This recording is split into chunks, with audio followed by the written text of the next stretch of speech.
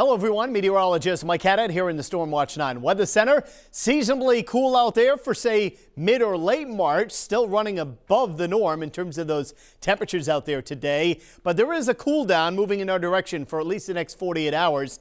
And then temperatures climb again later Sunday into early next week. For the here and the now, fair skies a good part of the evening. Quite a strong upper level system back in the Great Lakes is triggering some scattered rain and snow showers.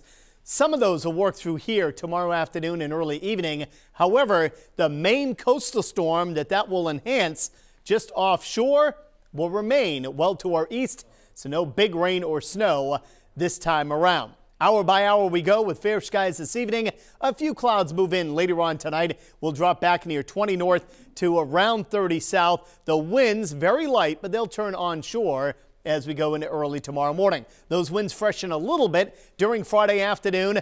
Any limited sun gives way to increasing clouds, a chance of a scattering of snow or mixed showers south, snow showers north.